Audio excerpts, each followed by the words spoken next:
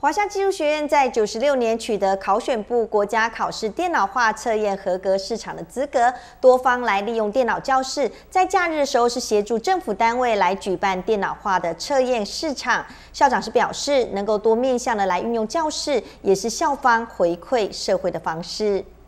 啊，四个办学主要的方向啊，就是务实啊，要整合，要创新，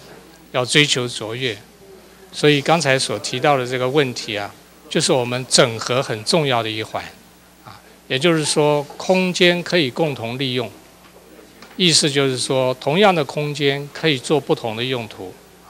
那唯有透过整合，我们才可以充分的发挥我们学校所有的教学资源。